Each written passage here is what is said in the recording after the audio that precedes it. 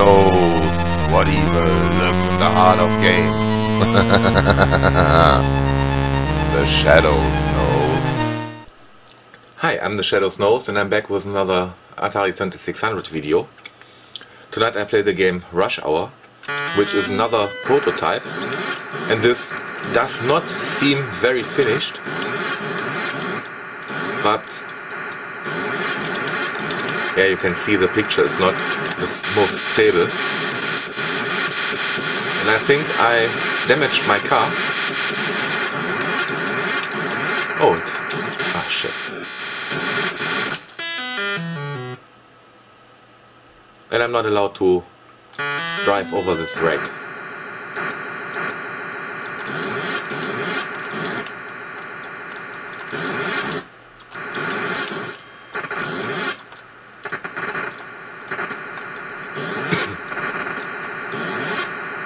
But this game gets or can get quite fast so.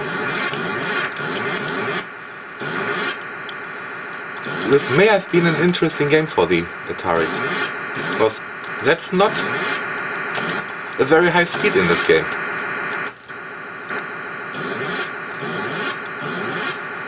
And it looks fluent.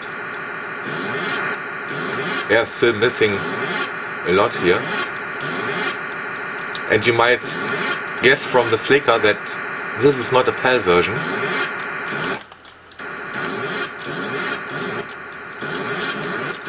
Shit. One more try. yeah, that was clever. So you can see it gets really fast. One more try. Yeah, I really think this could have been an interesting game.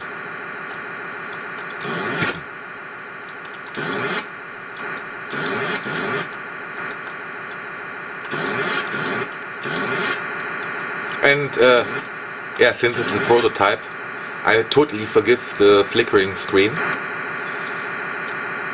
They don't have to get the timing right before they sell it. Probably it would have needed. Or it wouldn't have needed. It would have needed a little bit more fine tuning.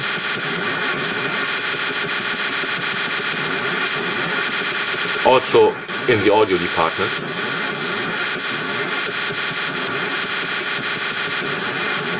Because it doesn't have to be that loud. Hey, I got through that. Oh, I think I'm supposed Ah, okay. I get it now. It's a radar down, down there. And I have to catch and I think destroy this line. Okay. Let's try it one more time.